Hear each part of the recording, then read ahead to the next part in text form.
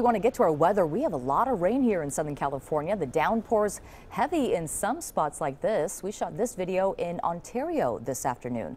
We also shot some rain falling in Mount Washington. Let's get straight to meteorologist Evelyn Taft with our forecast. And Evelyn, how long is this rain going to last? Right, seriously, you guys, we are expecting that rain on and off for at least the next five to seven days, really.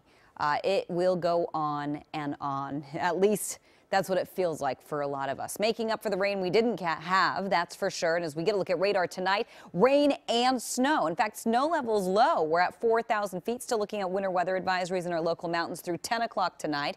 And we will continue to see the rain again on and off for the next week. When I do say off, there is a chance we could get some dry spots, especially over the next couple of days before it picks up again. As we get a look at the big picture, you're going to see rain to our neighbors.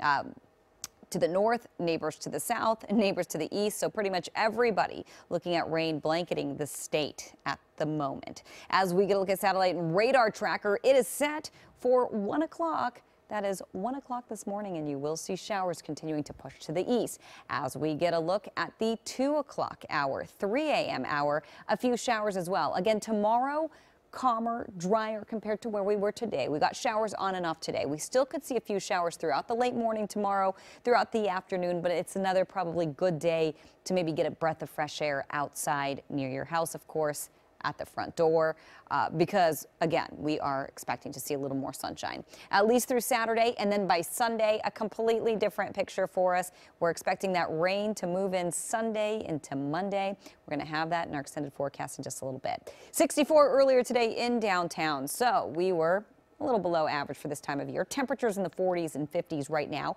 As we check in with lows for tomorrow, we're in the 40s and 50s and highs looking like this 60s, 62 Ontario, 65 Santa Ana, and 60 in Riverside. As we get look at our surface analysis, low pressure continuing to hang out. Next chance of rain coming in with the next low pressure system.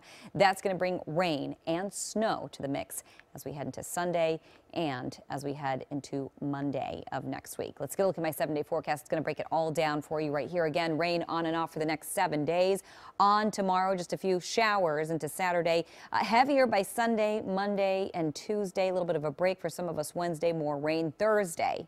For the IE, the high desert and the mountains, you'll see right here, seven days of rain on and off for the IE. Couple breaks for the high desert and for the mountains, but expecting mountain snow come Monday and rain by Monday, or actually Wednesday and Thursday for the mountains.